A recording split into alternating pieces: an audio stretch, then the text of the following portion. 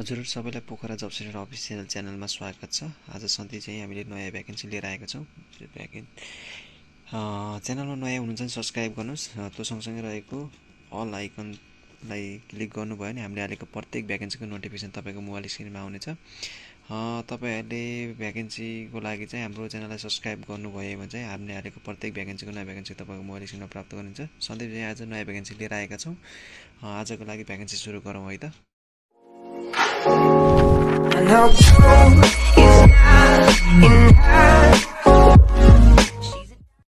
तपाईँहरूले चाहिँ यो भ्याकेन्सी हाम्रो सोसियल मिडिया फेसबुकबाट बाहिर माध्यमबाट चाहिँ कसैको सेयर मार्फत अथवा हाम्रो कुनै सेयर मार्फत चाहिँ तपाईँले भिडियो हेर्नुभएको छ भने चाहिँ तपाईँहरूले त्यो सेयरको माथिपट्टि थ्री डट हुन्छ त्यसमा थ्री डटमा क्लिक गरेपछि चाहिँ तपाईँले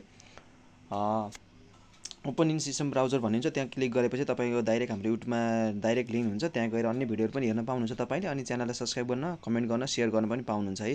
तपाईँले यो कामको लागि हाम्रो कार्यालयमा आइरहनु पर्दैन तपाईँ डाइरेक्ट कार्यालयमा जान सक्नुहुन्छ होइन? त्यही भएर चाहिँ भिडियोलाई अन्तिमसम्म हेर्नुहोस् भिडियोको अन्तिमसम्म हामीले सम्पूर्ण जानकारी दिनेछौँ होइन? सहकारीको लागि मार्केटिङको लागि मान्छे आवश्यकता रहेको छ।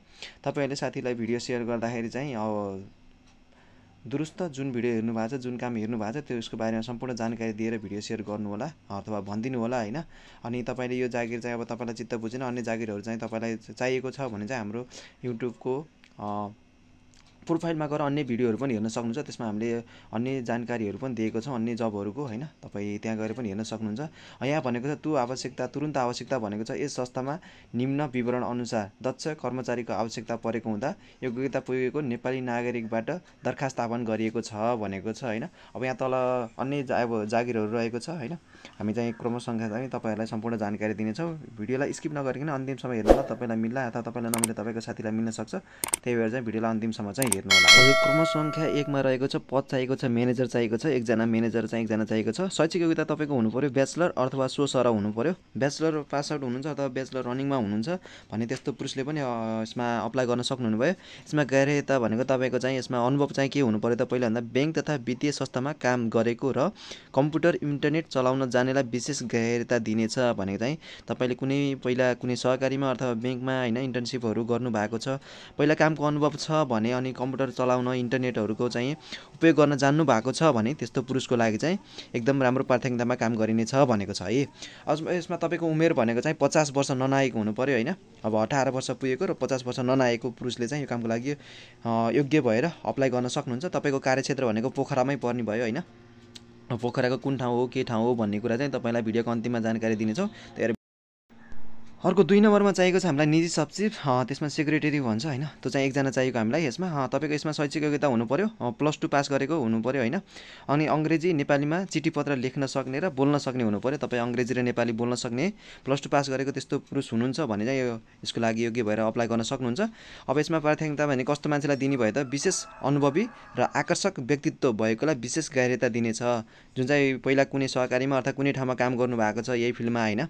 अथवा चाहिँ तपाईँको बोली चालीहरू होइन चालढालहरू राम्रो भएको मान्छेलाई चाहिँ यसको लागि गाह्यता दिएर काम हुने भयो भनेको छ है। यसमा उमेर तपाईँको चाहिँ पच्चिस वर्ष ननाएको हुनु पऱ्यो अठार वर्ष पुगेको र पच्चिस वर्ष ननाएको पुलिसले चाहिँ निजी सचिव सेक्रेटरीको लागि चाहिँ अप्लाई गर्न सक्नु भयो।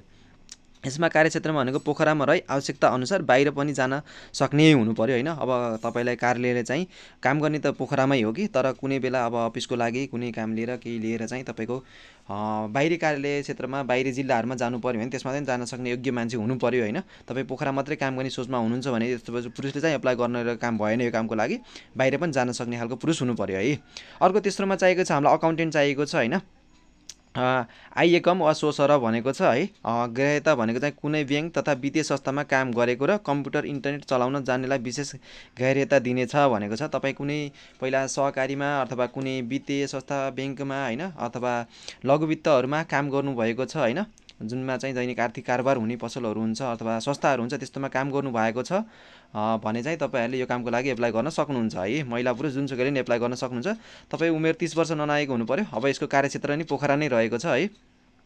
अर्को चौथो नम्बरमा चाहिएको छ पिएन चाहिएको छ। त्यसमा चाहिँ पुरुष चाहियो है। पिएनमा चाहिँ तपाईँको साधारण लेखपाल गर्न सक्ने अनि बढीमा शैक्षिक योग्यता भनेकोलाई भएकोलाई विशेष प्राथमिकता दिनेछ भनेको छ। अब तपाईँ साधारण लेखपढ भन्दा नि अलिकति राम्रो शैक्षिक योग्यता छ होइन? अब एसएलसी प्लस टू त्यस्तो हुनुहुन्छ पिएन गर्न सक्नुहुन्छ। पिएनको जागिर खोजिरहनु भएको छ भने त्यस्तो पुस्ले कामको लागि अप्लाई गर्न सक्नुहुने भयो यसको लागि चाहिँ तपाईँको सम्पर्क कार्यालय कहाँ छ होइन के के लिएर जानुपर्छ कसरी जानुपर्छ भन्ने कुरा चाहिँ हामीले भिडियोको अन्तिमसम्म दिनेछौँ। भिडियोलाई अन्तिमसम्म हेर्नु होला है तपाईँहरूले। अनि अनुभवी भई सवारी साधन साइकल स्कुटर मोटरसाइकल चलाउन सक्नेलाई विशेष गरेता दिनेछ भनेको छ। अब तपाईँले पहिला कुनै ठाउँमा चाहिँ होइन पिएनको काम गर्नुभएको थियो सेक्युरिटीहरूको काम गर्नुभएको थियो स्कुटर बाइकहरू चलाउन सक्नुहुन्छ भने त्यस्तो मान्छेलाई एकदम विशेष प्राथमिकता हुनुभयो होइन। अब तपाईँ त्यस्तोमा हुनुहुन्न पढ्नुहुन्न भने नि एप्लाई गर्न त सक्नुहुने भयो तर त्यसमा तपाईँ पढ्नुहुन्छ होइन? भने चाहिँ तपाईँलाई विशेष प्राथमिकता हेर्ने भयो कम्पनीले होइन? तपाईँलाई लिने चान्स धेरै हुने भयो यसमा चाहिँ। तपाईँ यसको लागि चाहिँ तिस वर्ष ननाएको हुनु पऱ्यो यसको कार्यक्षेत्र पनि पोखरामै रहेको छ है। अब हामीले चाहिँ यो कहाँ जाने के गर्ने कसरी जाने भन्ने कुरा चाहिँ हामीले डिटेल्स दिनेछौँ। त्यही भएर भिडियोलाई अब अन्तिमसम्म हेर्नु होला होइन? अब यो जागिर तपाईँलाई मन परेन भने अन्य जागिरहरू खोज्नु भएको छ नि प्रोफाइलमा गएर हेर्न सक्नुहुन्छ तपाईँहरूले है?